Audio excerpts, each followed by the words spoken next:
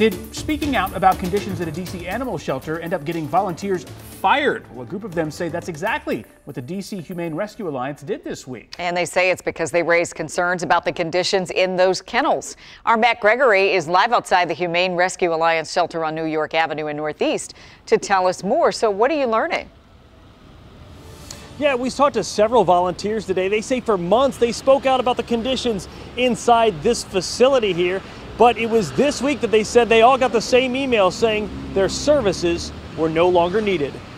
Christy Lambert has volunteered at DC's Humane Rescue Alliance since August at the New York Avenue location. My heart just dropped. But an email on Tuesday changed all that. The Humane Rescue Alliance fired her, and she estimates at least 20 other volunteers. This just happened. It was a shock to most of us, so we're still trying to figure out what's going on. Lambert says for months now, she and others have voiced their concerns about the conditions for the animals in the New York Avenue shelter. The kennels were uh, had lots of feces, pee, you know, blood even on the walls. She and other residents documented what they saw in videos and pictures. They gave them to management, but last fall, she says, when nothing had been done, they wrote a letter. That highlighted our concerns that went to board members of HRA, went to city council members, went to the mayor. Then this week, the other shoe dropped. Lambert and more than two dozen other volunteers got the same email fired from their volunteer roles, no specific reason given. The volunteers that they fired, I mean, ah, these were people who've been there 10 plus years, oftentimes. We asked the Humane Rescue Alliance why, and a spokesperson sent us this response saying they had broad reasons to terminate the volunteers,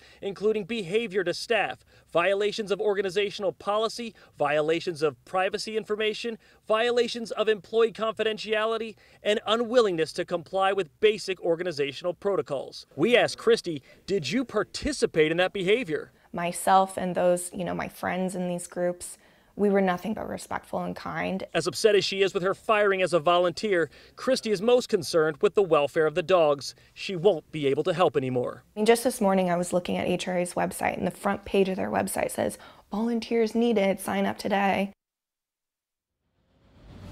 Yeah, now we spoke with other volunteers, not just Christy. They said they experienced a similar thing, raising concerns, then finding out yesterday they were fired. Their services were no longer needed.